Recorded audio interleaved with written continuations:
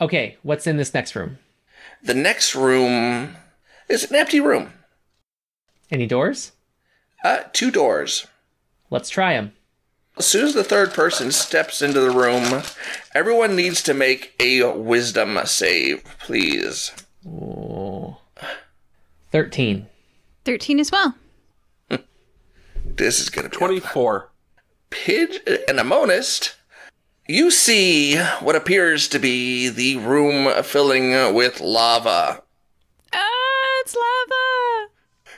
Adrian doesn't quite see it, so he can see it, but he notices that it's not quite actually solid looking. Problem is, Pigeon and Amonist believe it very thoroughly right now.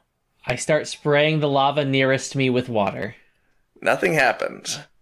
Hey, Dum Dum, it's not real. Oh, okay. And Adrian's going to smack them around a little bit to try to wake them up. Well, they get another chance to make another wisdom save with advantage this time. Because of the slaps? Yes, because you're con- trying to convince them that it's not real. Problem is, 16. 14. nope, you don't believe him. Well, I tried. and I go to one of the doors. I try to th- open the doors. Try the south first. The south door, you open it up to find this time you don't need to make a wisdom save. It is actually lava in the next room. Is it threatening to th- actually flow into here? No. Okay. Hey, guys, that's not lava. That's lava. Problem is, those two have failed their wisdom saves, even with the with the you telling them that it is fake. Anything else in that room that I see? Uh, yeah, a number of stepping stones. Okay, I fly. That works. there is a crystal on the other side of the room. I fly over, grab the crystal, fly back. A five is carved into the crystal. It's lava. Hey, guys. Oh my gosh, it's lava. Hey, guys, I got a crystal. Keep dancing and the lava won't get you. And I try the other door.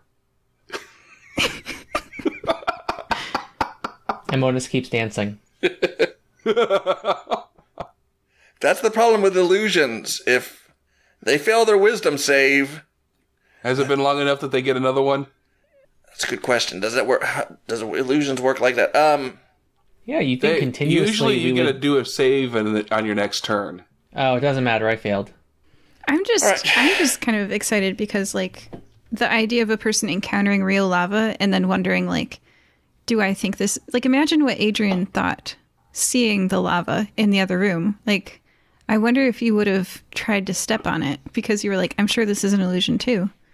Mm-hmm. No, he said that that was actual I know, lava. the DM said so that, it was but I just- solid, and the other one was not solid lava. It's like see through. Yeah, but we think it's So real. I knew. So it's Yeah, you guys think it's real. I I don't know. I just I'm amused by that idea that you might distrust the reality of the second lava you see because you like fool me once, shame on me. shame on you. Fool me once, shame on you. Fool me twice, shame on me. And then you like touch the real lava and you're like, nope, that one's real. or is this feeling of pain an illusion? And then like, I don't know. Oh, now now you're getting into it. That's a that's a heck of a thought exercise right there. Technically speaking, all pain is an illusion. It's purely your experience. That's true.